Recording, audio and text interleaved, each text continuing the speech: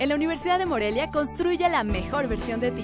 Estudia tu carrera en tres años en las áreas de la salud, humanidades, económico-administrativas, videojuegos y arte digital. udemorelia.edu.mx. Teléfono 317-7771. Como un buen resultado, calificaron jugadores de Monarcas Morelia el empate a tres ante León, ya que a pesar de jugar de locales, estaban en la lona por dos goles de desventaja en el marcador y al final pudieron remontar. Sí, bueno, si tomamos en cuenta eso, sí, eh, pero sabemos que, que, bueno que no tomamos ventaja, que era, eso era lo más importante. Eh, ahora tenemos que ir a hacer, yo creo que un partido eh, muy inteligente.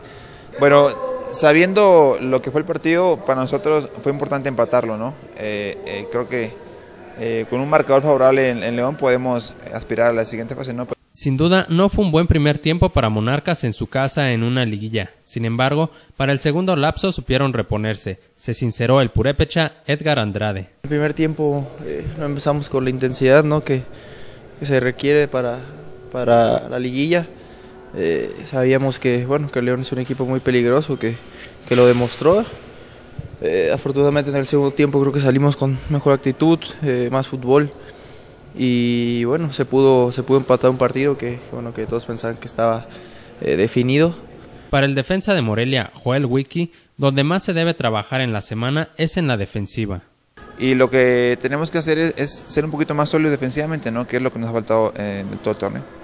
Los jugadores titulares del conjunto de la fuerza confían en trabajar bien en la semana para ir en busca del pase a semifinales en el estadio Camp Nou. Y vamos, bueno, vamos a trabajar bien esta semana para, para bueno, ir, a, ir a luchar y ir a pelear allá a, a León. Estamos eh, tranquilos en el aspecto de que podemos mejorarlo esta semana y tranquilos de que podemos eh, poder pasar al siguiente fase con el equipo que tenemos. ¿no? El juego de vuelta de los cuartos de final de la Liga MX será el próximo 30 de noviembre en el estadio Camp Nou, donde se conocerá al semifinalista entre Monarcas y La Fiera. Para Cuasar TV, José Guadalupe Rodríguez.